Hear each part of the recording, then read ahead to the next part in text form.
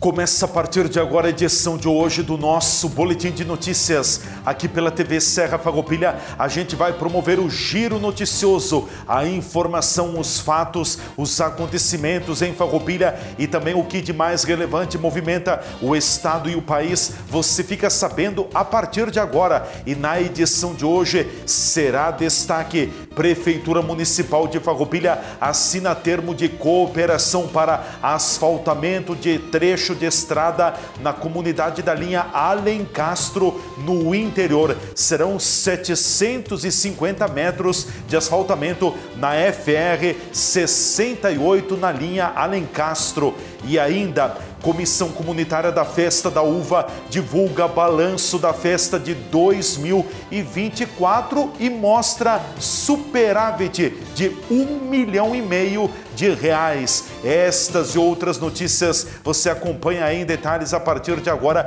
aqui no nosso Boletim de Notícias. E a gente começa ampliando esta informação. Prefeitura de Farroupilha assina termo de cooperação para asfaltamento de estrada na linha linha Alencastro. A Associação dos Moradores da linha Alencastro e a Prefeitura Municipal de Farroupilha assinaram durante esta terça-feira, 11 de junho, um termo de cooperação para asfaltar 750 metros da FR 68 na comunidade da linha Alencastro. No passado, um trecho desta estrada já havia sido é, pavimentado e recebido cerca de 300 metros de asfalto. E agora, com os mais de 750 metros, a via logo em breve vai ter mais de um quilômetro de sua extensão já asfaltada. Participaram do ato o prefeito municipal de Farroupilha, Fabiano Feltrin, o presidente da Associação dos Moradores da linha Alencastro,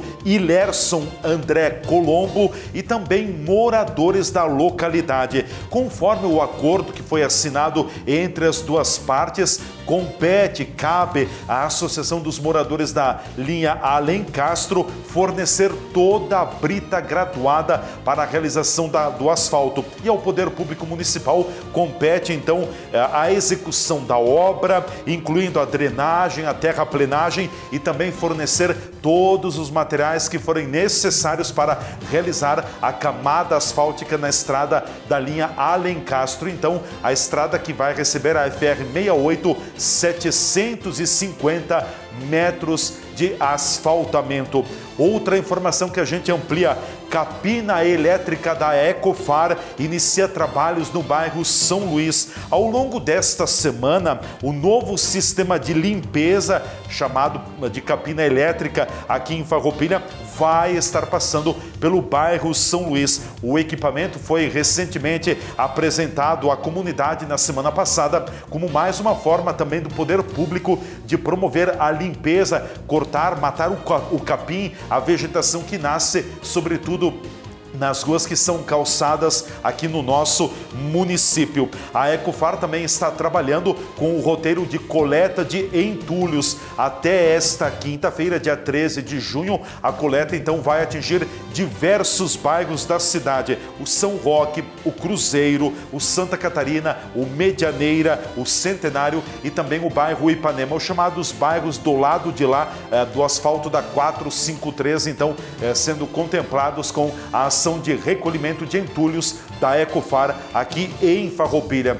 Mais uma informação que a gente amplia: Festa da Uva divulga resultados e anuncia lucro de um milhão e meio de reais com a festa de 2024. A Comissão Comunitária da Festa Nacional da Uva apresentou durante a manhã da terça-feira, em entrevista coletiva à imprensa, os resultados da festa que ocorreu entre fevereiro e março deste ano. A apresentação aconteceu no Centro Municipal Municipal de Eventos na cidade de Caxias do Sul. A Festa da Uva de 2024 teve um público total de 460.177 visitantes, registrando um aumento de mais de 30% no público, se comparado com o público que visitou a festa da uva no ano de 2022. O balanço financeiro da festa da uva também foi muito positivo. Sobraram ou sobrou um milhão e meio de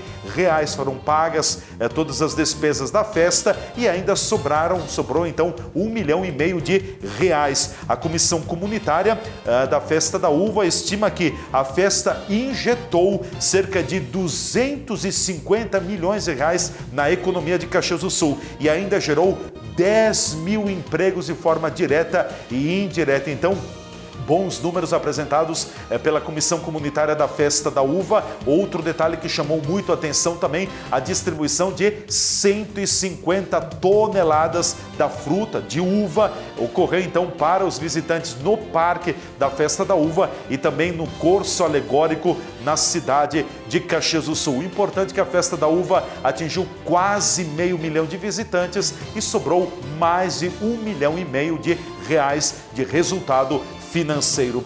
Agora vamos a um giro com notícias também pelo nosso estado e pelo Brasil. Governo federal anuncia anulação do leilão para compra de arroz, mas Conab é, estuda, avalia novo remate. Olha, até o secretário executivo acabou sendo exonerado. A anulação se deu porque as empresas interessadas não teriam capacidade de suportar a compra do alimento. Outra informação: Mercado Público de Porto Alegre reabrirá parcialmente na próxima sexta-feira, pois é com as chuvas de maio o mercado público ficou completamente inundado. Ainda Rio Grande do Sul tem 187 mil famílias aprovadas no auxílio reconstrução. Também balsa que faz a ligação entre Nova Pádua e Nova Roma do Sul na Serra Gaúcha volta a funcionar depois de 42 dias parada. Mais uma informação: Polícia Federal do Brasil investiga nova joia que teria sido negociada por Jair Bolsonaro nos Estados Unidos. Vai começar tudo de novo, sim, as joias do Bolsonaro. E ainda, Brasil será o primeiro país do mundo a ter o modo ladrão em celulares da Android. Ou seja, o Brasil é o primeiro país do mundo que vai ter o modo ladrão em celulares da, do, da Android. Estas são as informações de momento, então, no Boletim de Notícias, te atualizando, te deixando bem informado e por dentro das últimas do jornalismo da TV Serra, Leandro Adamati.